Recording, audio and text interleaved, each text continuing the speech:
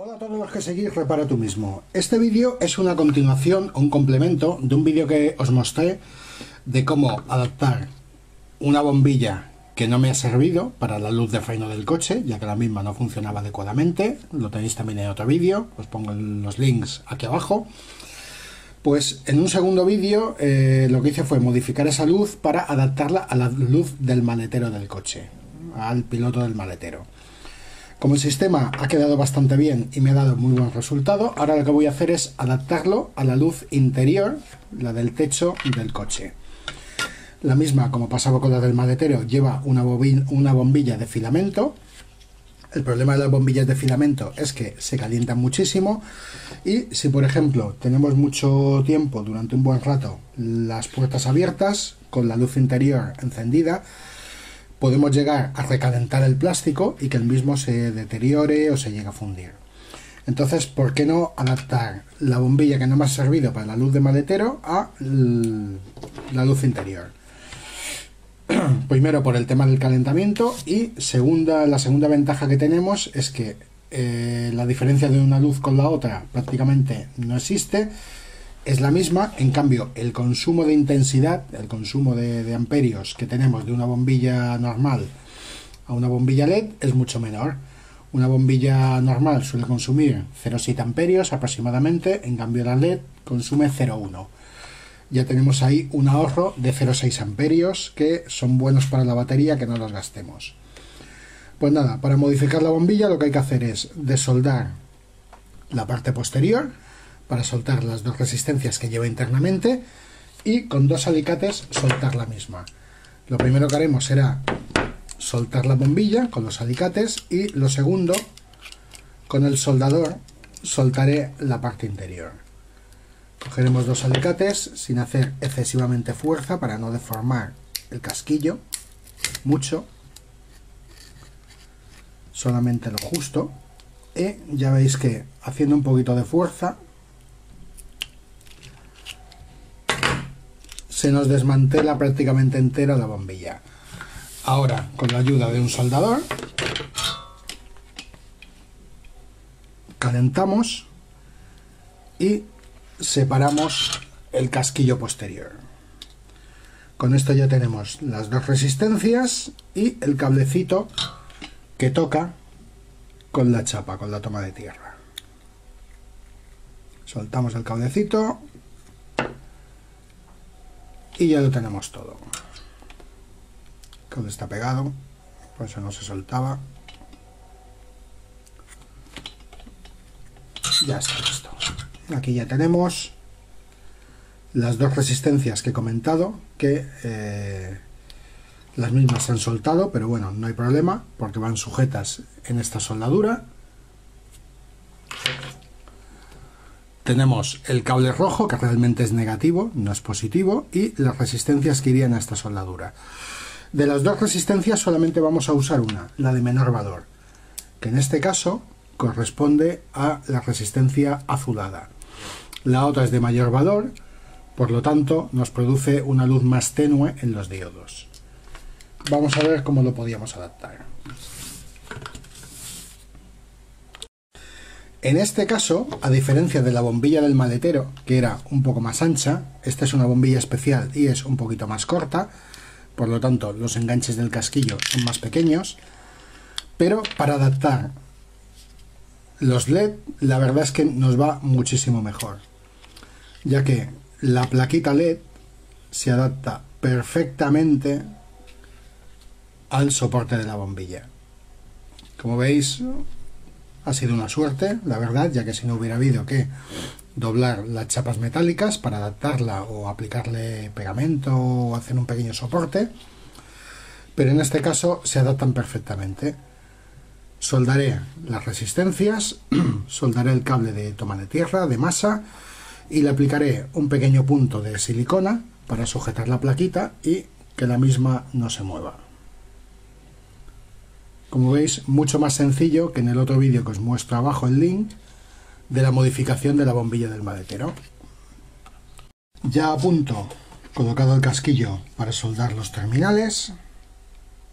Lo dicho, lo hemos centrado. Luego posterior y le pondré un pequeño toque de silicona para que no se mueva y ya podemos proceder a soldar. Para poder soldar en la chapa metálica, eh, este tipo de metal lleva una especie de baño o película en la parte superior que impide que soldemos, por lo tanto, si rascamos un poquito,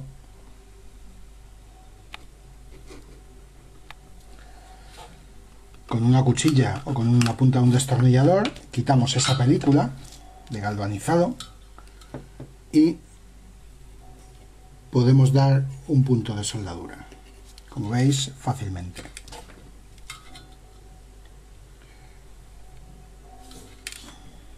soldamos el cablecito.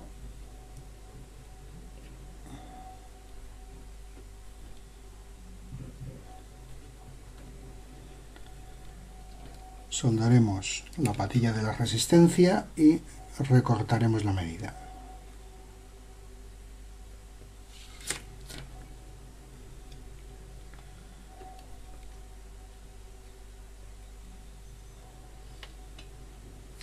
Lo tenemos cortamos la patilla de la resistencia.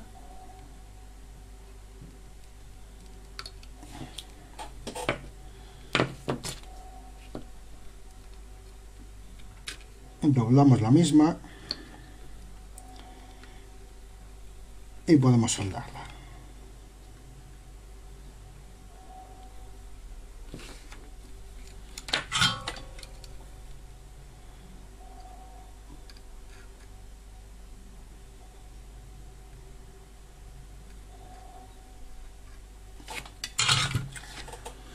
Ahí ya la tendríamos, ya tendríamos nuestra plaqueta adaptada a la luz interior del coche. Le doy un pequeño toque de silicona y se puede montar en el vehículo.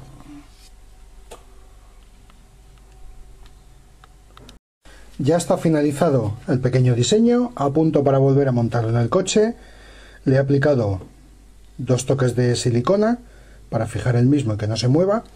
Hay que decir que este tipo de LEDs, si no los sobrealimentamos y los tenemos en las condiciones idóneas de, voltaje, prácticamente duran para toda la vida. No es como una bombilla que pasados X años, la misma por las vibraciones, se funde.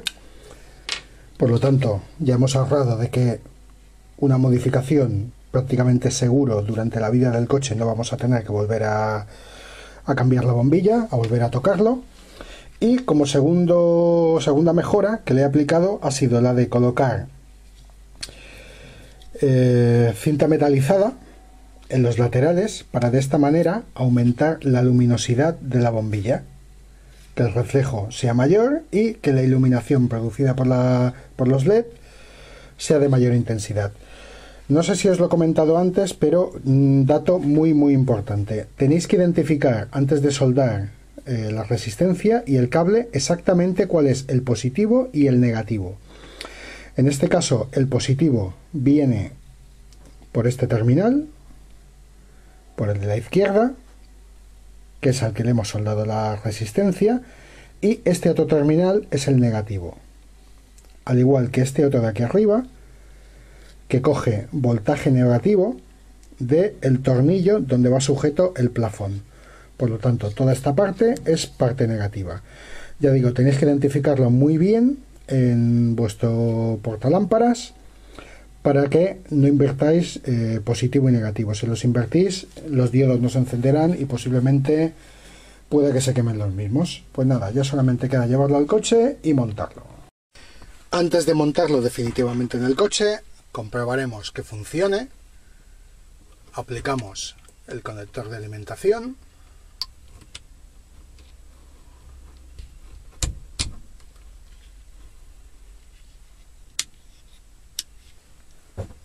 La puerta y como vemos la luz interior se ilumina.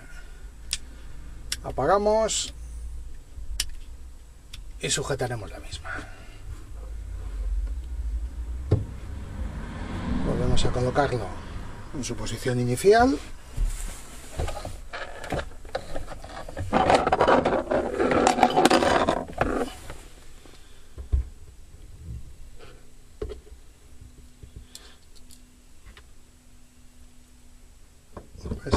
Uno de los tornillos lo acabo de colocar el segundo.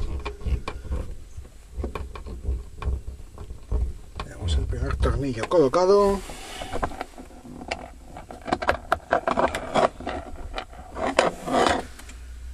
Colocamos el segundo y ya estará lista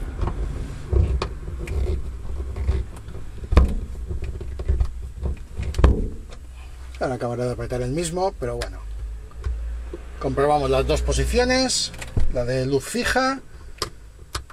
La de encendido con la puerta abierta. Y como veis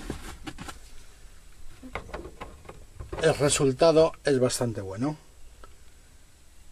Acabo de colocarlo y vemos cómo queda definitivamente. Ahí ya estaría terminado. Ya solamente falta colocar el plafón y listos.